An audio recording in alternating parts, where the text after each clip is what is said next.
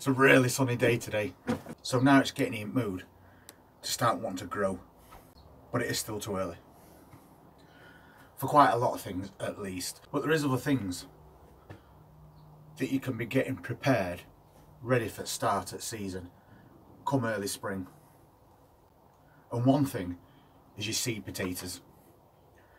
And we've been out at weekend because in Chesterfield they have a little farmer's market and there's loads and loads of varieties of vegetable plants and also lots of different types of seed potatoes. You can get your seed potatoes from Wilko's but if you want something a little bit different you're going to have to go that little bit farther and because over the past few years we've always stuck to one particular type of main crop potato, that being Desiree. We've always had problems with that, especially with scab, which kind of ruins your entire harvest if you're not careful. So this year we decided to do something different and we've picked out a few different varieties of potatoes that we've actually never grown before. And what we'll do is we'll go through these varieties of potatoes that we're growing this year and then we'll go over how I'm going to be planting them and what I'm going to be planting them in because this year it's going to be a little bit different. So let's start off with some of these varieties. And also this year I'm not doing any first early potatoes because you only get little small salad potatoes out of them. So I'm going to skip those and go straight to the second earlies. So first one that I've chose for this year is called Kestrel and it's a good all-round potato in regards of cooking but it's also slug resistant so because we seem to have quite a lot of problems with slugs in this garden anyway I think Kestrel will be one to try because normally we do something like Rocket but we're not doing those this year. As I said everything that we're growing is going to be completely different to what we did last year. And they're not huge potatoes. Again they're kind of like a salad potato and you need to look for the part of this potato where chits will be growing because I always chit potatoes before I plant them some people say you don't have to.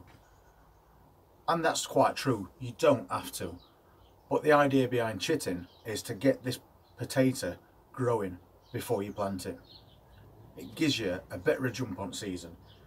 And for me personally, I don't want to be putting taters into buckets with damp compost that haven't already started growing, especially with this UK weather, because it drops really cold, as it does tend to, between February and May, then before these get going, there's a chance they might rot instead. Then you're going to have to start all over again. So they're Kestrel. Another one that I'm doing is called Amor. And people will argue that these are actually a main crop potato, which they can be used as a main crop, but they can also be used as a second early. The only difference being is you can plant them at the same time that you would plant your second earlies, but these can be left a little bit longer to get a bit bigger. Once again, a good all-round potato. And then as last one for a second earlies is one called Nicola. And these ones are particularly good for making mash out of. So we're going to try some Nicola and that's all the second earlies that we're going to be doing so far this year. Then we're doing some main crops and these look quite small but they will produce good sized potatoes. And these are called Picasso and these are also very good for your mash but they're also a good one for baked potatoes. So we thought we'd give these a try as one of his first main crops this year. But then we wanted to try something different as well. And I don't think you can get much different than these ones. And these are called pink fir apple. And I'll show you a little bit closer up. Because the strangest potatoes you'll ever see. That's how they grow. Obviously they get bigger than that because this is just the seed. But they're kind of knobbly, misshapen, wonky potatoes. But when you grow things like this, these have actually got quite a good flavour and they've also got a nutty flavour to them as well. So it's something different for us to do this year. And obviously with something like that, the best way to deal with these is to just give them a really good scrub chop them and then boil them as they are or roast them. So, pink fir, got to try them. And these are also a main crop potato and apparently they store really well. So if you've not tried them before, maybe give them a go. Then another main crop we're doing is called Carolus. And this apparently is dual light resistant. So this makes a really good one, especially for me. We having the weather that we have. And if you get blight, it's a massive problem. And in effect, it will just ruin your entire harvest. So to get hold of one that's blight resistant, for me, is a really good start. So we'll try some of these this year, see how they go. And then we'll move on to the main one that I want to try this year. I see lots and lots of videos about these and people get really good results. And once again, these are blight resistant and they're also slug resistant. So these ones are called Sarpo Mira.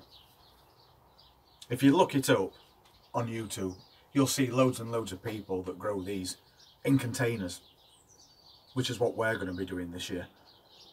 And they get very good results. They get very big potatoes. And these are perfect for your chips and roast potatoes.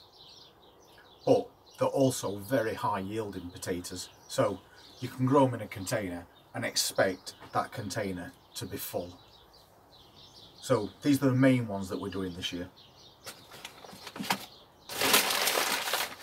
We also picked up a couple of other different bits and bobs while we were there. Because once you go to places like this and you're a gardener, you're a bit like a kid in a toy shop. So you kind of run around grabbing anything different that you see. And because on this channel we like to do things different every year and experiment with things, you can't resist picking up something that you've not grown before.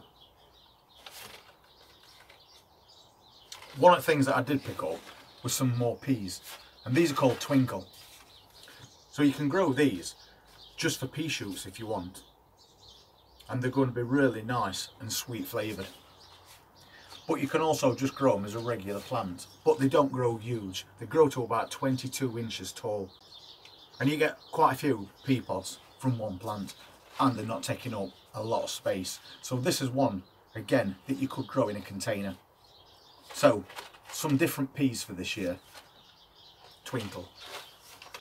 I also got some more onions, as if I hadn't already got enough growing. But these were different. These are called Florence, and they're a long red onion. So they can grow up to about six inches in length. And they're a very mild onion, as well as being a sweet onion. So these will be perfect for your salads or pickling. And the fact that I've never grown these before is enough for me to get some to try. So we'll see how they get on this year. And then I bought a pack of Tendergreen. And these are French beans. And once again, they're a bush variety. So we're not looking to get big constructions in garden made of canes and netting this year. Because we only want a few of everything. And these will be a lot easier to manage. And since we also do that container garden, these will be perfect for that. So we'll pop some of these in some containers in a few weeks time and we'll get those growing. So you can see that that one little trip out has produced so many different things for us to try this year. But the main thing is, for me personally, is that you spend a lot of time sorting out your ground and you plant your seed potatoes. And then you get to a point at year where it's time to harvest. Unfortunately around here we get lots of bad winds. And nearly every year we get plants that are not flat. And it kind of ruins it.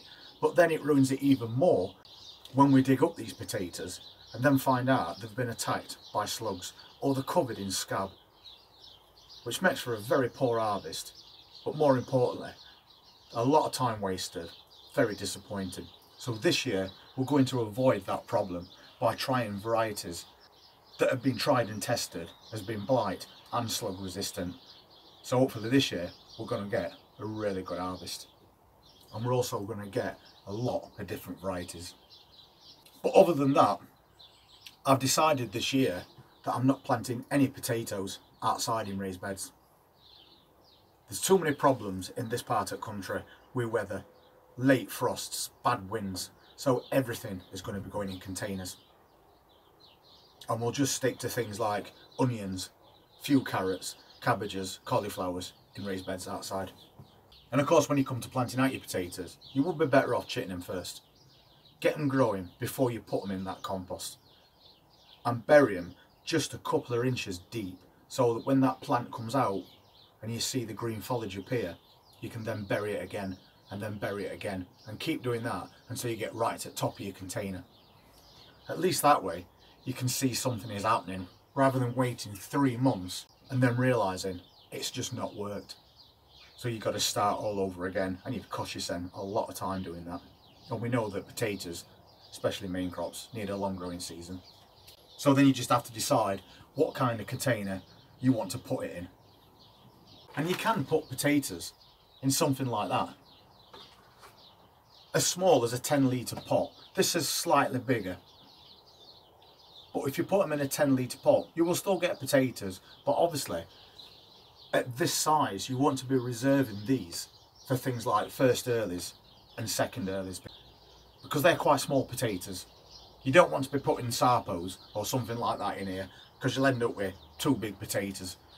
That's no good. So first and second earlies in a little container like this is perfectly fine. And you can just pop them on your patio. Or you could leave them in your greenhouse Obviously, if it gets too hot, you want to move them outside. But we tend to put them in containers quite early in season in the greenhouse to get a jump on season. And if you look back on previous videos, you'll see that that worked quite well. Ideally, for your main crop potatoes, you want something like this. That's a 30 litre container. And these are the type that most gardeners on YouTube use, especially for the Sarpo Miras and you'll be very surprised at how many potatoes they can get out of a container that size. And for something like this, you'd put two seed potatoes in there. And again, bury them a few inches deep. Once you see they're starting to grow, keep filling them until you get right to the top. So that's your 30 litre, ideal for main crop varieties. And of course, you can go even bigger if you want to. It depends on what containers you've got kicking around in your garden that obviously at this time of year are going to be doing nothing. But the bigger the container, the more seed potatoes you can put in it and then potentially the more potatoes you will get from an harvest. But bear in mind, if you put too many seed potatoes in one container, they will all grow, but you will eventually end up with smaller potatoes. So that choice is entirely up to you. If you want really big potatoes, a couple of seeds in there will be enough. But if you're happy with average sized potatoes, you could try three. Then of course you could also go even bigger with one of these large bell pots. And for something like that, I would put three seed potatoes in something that size because you've got plenty of room. And bear in mind that when it comes to main crop potatoes, they grow upwards. So you plant a potato at the bottom, it will grow, then it sends out a tuber. Then you'll see the foliage coming out of the top of the compost and you'll bury it and then it'll grow even more and then put out more tubers and so on until it gets right to the top. So your main crop potatoes grow upwards. So you could potentially end up with lots of potatoes in a container that size. But also bear in mind that when you're planting things like first earlies and second earlies, those potatoes grow outwards. It's only your main crops that you have to keep burying or earthing up as they call it. So the more you bury them, potentially, the more potatoes you'll get. And that's how we're going to be doing ours this year, containers only. So you know what varieties we've got this year. And you know we'll cover them step by step as they're growing and then we'll wait for those nice potato reveals at end of year which everybody looks forward to who watches gardening channels. And hopefully this year we'll get a lot better success than we have done in previous years with having so many different varieties to choose from and also having lots of them that are disease resistant. If you want to see the next few videos we'll be doing, which will cover chitting these potatoes and then planting them, plus all the other things that we've got going on at the moment, and a lot more to come, then please hit that subscribe button press that notifications bell and we look forward to seeing you on the next update. Take care.